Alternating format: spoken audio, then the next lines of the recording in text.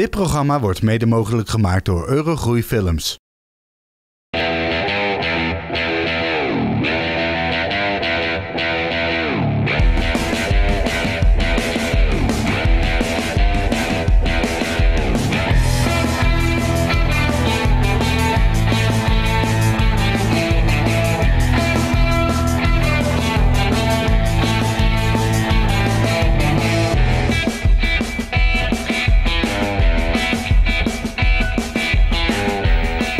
Fijn dat u weer kijkt naar een nieuwe aflevering van Take 13. Met vandaag de horrorfilm Happy Death Day, de oorlogsfilm H, The Man with the Iron Heart en de thriller Good Time.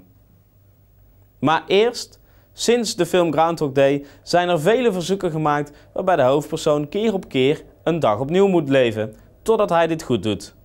Zo is dit jaar zelfs nog de matige comedy Naked uitgekomen. Maar in Happy Death Day gaat het er net een beetje anders aan toe.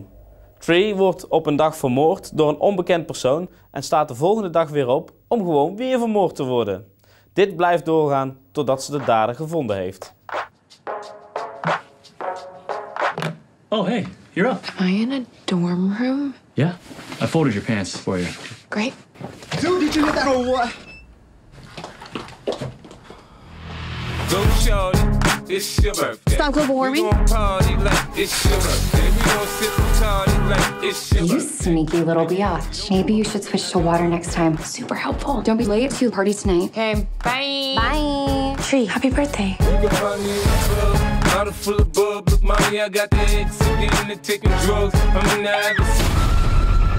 scared me.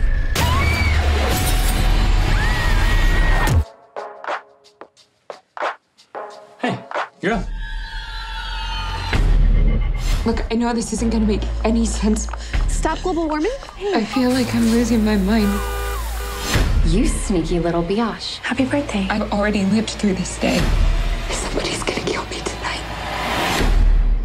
So you're getting here now.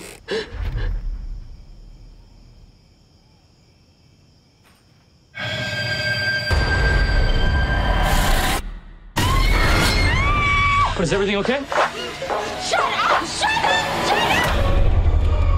Assuming that I believe any of this is even possible, Sprinklers? Car alarm? the way I see it, you have unlimited amount of lives, unlimited opportunities to solve your own murder. So I'm supposed to keep dying until I figure out who my killer is? You want to live to see tomorrow, right? Whoever's killing you knows it's your birthday. Pretty much the entire school knows.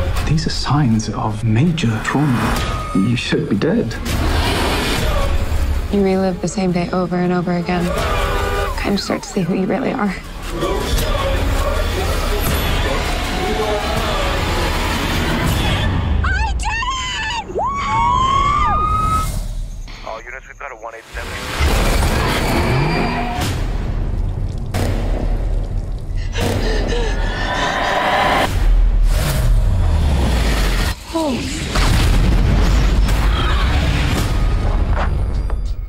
Regisseur Christopher Landon heeft al vaker comedy en horror samengebracht in zijn Scout's Guide to the Zombie Apocalypse.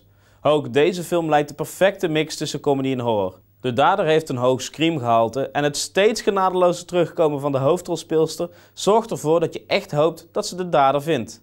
Happy Death Day draait vanaf 12 oktober in de bioscoop. Het is wellicht een bijzondere titel. Ha, The Man with the Iron Heart. Maar het is wel een hele treffende titel. De film gaat over een van de meest ambitieuze operaties die er tijdens de Tweede Wereldoorlog uitgevoerd is. Reinhard Heydrich was hoofd van de SS, de Gestapo, vermoedelijk tevens de bedenker van de Holocaust en het doel van de operatie. Twee jonge recruten worden naar Praag gestuurd om het hoofd van de SS te vermoorden. We zien in deze film de opkomst van Heydrich tot aan de operatie Entrepot. Our country has become so weak. Yes, well, it's not going to change anytime soon. Don't be so sure. There's one man who could change everything. See that man in the picture? That's our leader. He'll be able to save our country. I'm looking for someone to run the new SS intelligence unit. Intelligence requires organization and industry. No one will work harder than me, and no one will be more organized. Power needs men in the shadows, taking care of the most important secrets. Only the best of our people are capable of turning our nation to greatness. You know what the Führer calls him? The man with the iron heart.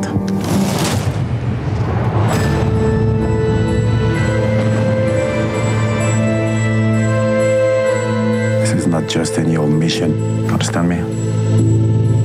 Not one high ranking Nazi official has ever been assassinated. I want to know every move he makes. Heydrich must die. We stand at a unique moment in history. All hostiles to the nation will be eliminated.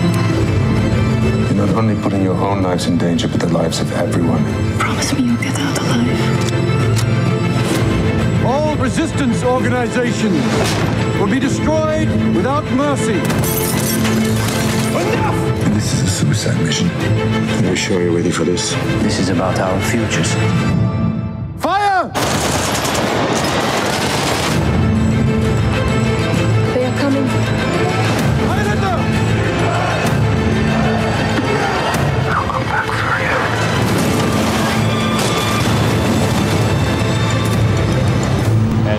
Film gekozen om eerst naar de opkomst van Reinhard Heinrich te kijken en vervolgens pas naar de twee recruten.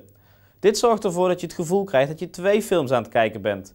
De film Entry Pot van vorig jaar geeft een beter beeld van de operatie en deze film zoekt meer in op Reinhard. De film draait vanaf 12 oktober in de bioscoop. De thriller Good Times neemt je mee door de grimmige straten van New York. Na een bankoverval die niet helemaal loopt zoals verwacht, gaan broers Nick en Connie op de vlucht. Wanneer ze ontdekt worden door de politie en de jongens beginnen te rennen, wordt Nick toch gevangen genomen. Connie doet er vervolgens alles aan om Nick weer uit de gevangenis te krijgen. De film is spannend, meeslepend en op een bijzondere en vooral realistische wijze geregisseerd.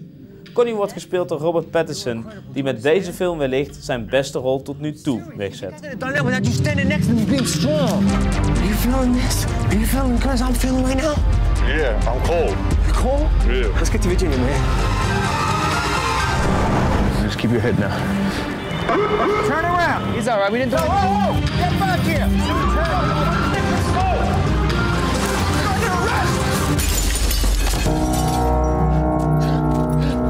So I told you about my brother, yeah?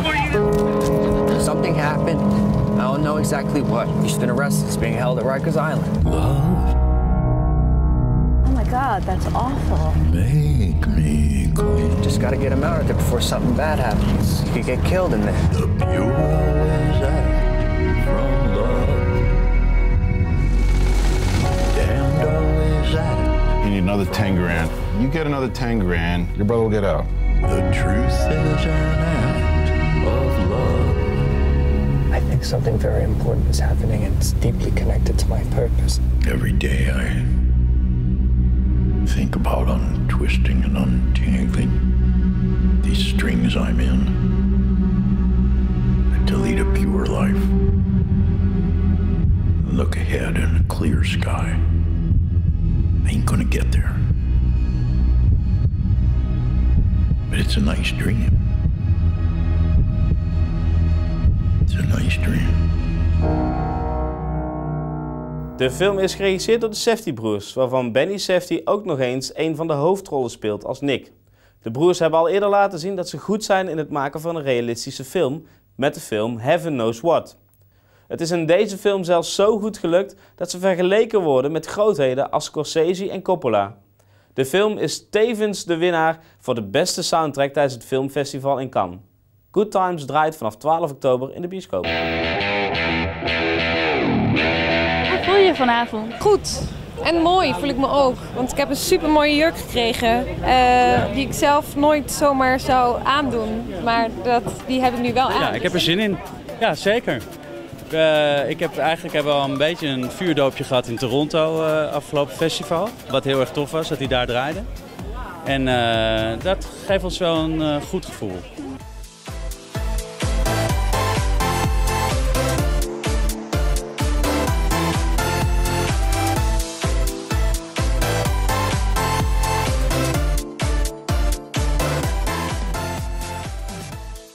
De film gaat over een Zeeuwse boer die zijn boerderij verliest bij de watersnoodramp in 1953.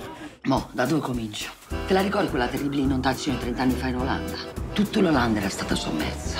No, ma perché devi sempre esagerare? Mio amore c'è un debole per il dramma. En dan besluit die boer van, weet je, ik stap op de fiets en ik fiets gewoon aan het, naar het eind van de wereld en ik zie wel waar ik uitkom. Italië dus. Hij weet daar op wonderbaarlijke wijze tulpen te verbouwen en groeit uit tot een soort levende legende, een echte eh, held, een mythe. Ja, ik reis hem achterna. Ik ben zijn vrouw. Dus ik ga ook naar Italië. En jij bent Timon. En ik ben die man, dat mag ik best verklappen. Ja. Het is in zoverre een typische Mike van Diem film. Ik weet niet of je dat kunt zeggen als je maar drie films gema eh, gemaakt hebt. Maar mensen die zeg maar karakter hebben gezien en de surprise, die herkennen wel een zekere theatrale stijl en een beetje eh, bigger than life. En meer cinema dan echt film. Dus daardoor krijgt het wat mythische proporties en wordt het af en toe een beetje overdreven en wordt het sprookjesachtiger eh, verteld dan, dan de echte werkelijkheid. Kijk, we zijn natuurlijk in Nederland over het algemeen maken we hele kleine films die zich vaak afspelen in een wereld die we kennen. De grachtengordel of eh, een buurt in, in Almere. Bij deze film is het allemaal wat groter en romantischer. Nou, sterker nog, het is veel groter en veel romantischer. Uh, we begonnen de film met Marleen Gorris. En ehm, die werd ziek en die kon de film helaas niet afmaken. Toen hebben we eigenlijk heel lang in de veronderstelling geleefd dat we de film niet meer zouden afmaken. Totdat Mike van Diem het weer heeft opgepikt. Ja, dat was niet, uh, was niet makkelijk. Uh, maar als je de film ziet, dan denk je echt van... Jeetje, wat hebben jullie een leuke tijd gehad en plezier uh, spat er vanaf. en dat is toch uiteindelijk het belangrijkste.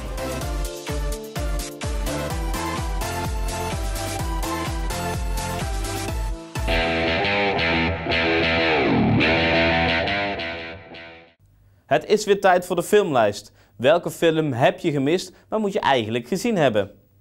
Deze week hebben we een wat oudere film klaarstaan. Voordat we Matthew Broderick in de rol als Ferris Bueller zagen, was hij te zien als David, een doordachte computernerd die niet alleen de school voor de gek hield door zijn cijfers aan te pakken, maar zelfs een vliegtuigmaatschappij wist te hacken om gratis tickets te krijgen. Alles lijkt kinderspel tot hij tegen het systeem een spel moet spelen dat het lot van de hele wereld in zijn handen legt. Ondanks dat de film wat ouder is en het hacken uit die tijd heel anders was dan tegenwoordig, is de film toch meer onderhoudend. Wargames is een film die je gezien moet hebben wanneer je dat natuurlijk nog niet al lang gedaan hebt. David Lightman was a master at computer games. A fast thinker. Oh, David! Maybe you could tell us who first suggested the idea of reproduction without sex. Your wife? Get out, Lightman. And a promising student Hi. at an old game Hi. with an electronic twist. Are those your grades? Yeah. I don't think that I deserved an F. Do you? You can go to jail for that. Only if you're over 18. This computer company is coming out with these amazing new games in a couple of months. And I want to play those games. Wow. What? We got something. He found the right code word to play the game, We're in. but it was the wrong computer. Shall we play a game? How could I ask you that? How about global thermonuclear war? Fine. All right.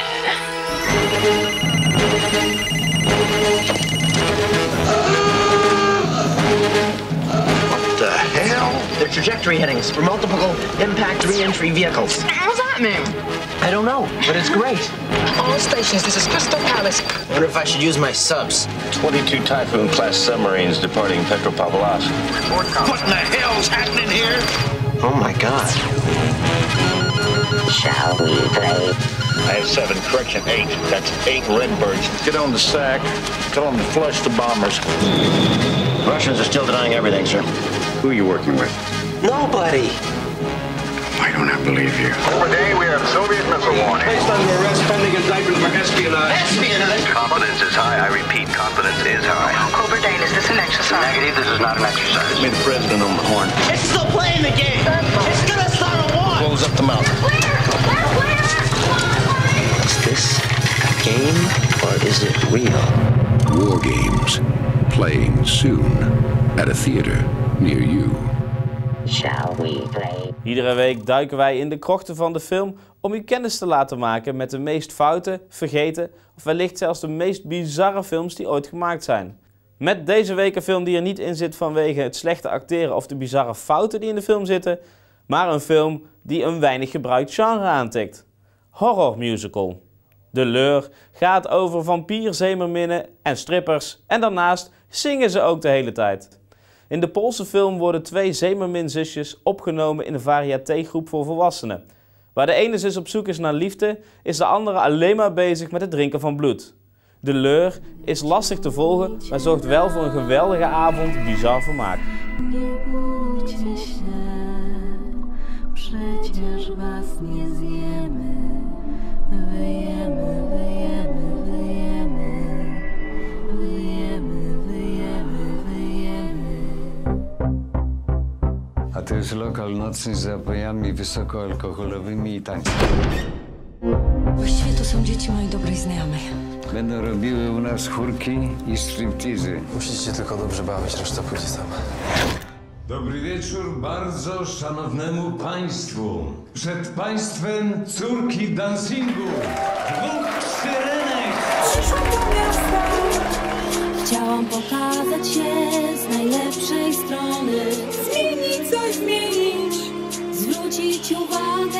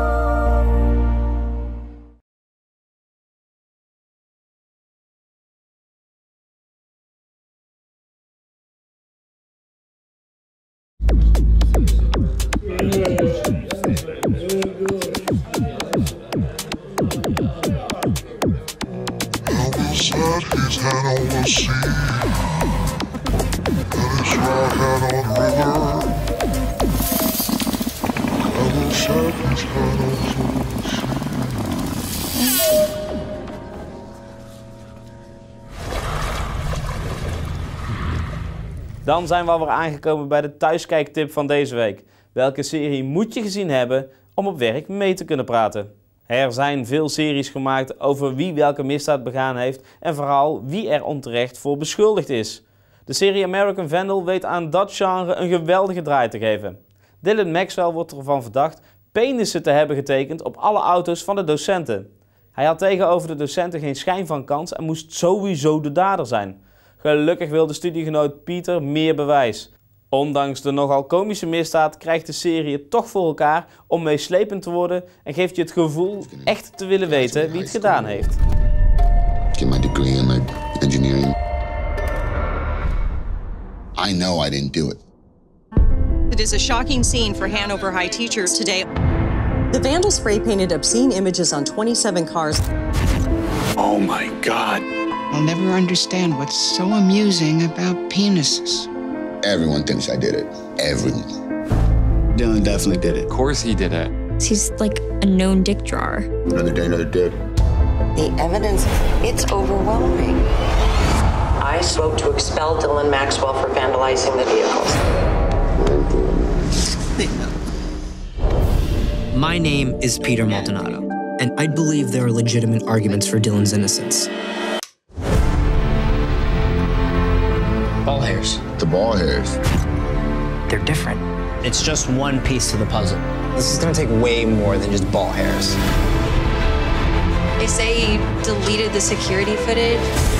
There's no way. He is the stupidest kid I've ever met. He's trying to convince you some sort of conspiracy. There just isn't one. Oh my God. Everyone got secrets. The administration has something to hide. This isn't about dicks. This is about the justice system. You didn't stand a chance. All of you stop filming right They got the wrong guy. Dat was alweer deze aflevering. Mocht u nou een film weten voor onze filmlijst of iets wat in de krochten van de cinema terug moet komen, mail dan naar take13.omroeptilburg.nl en wellicht komt uw film in de volgende aflevering voorbij. Voor nu tot ziens en tot de volgende Take 13.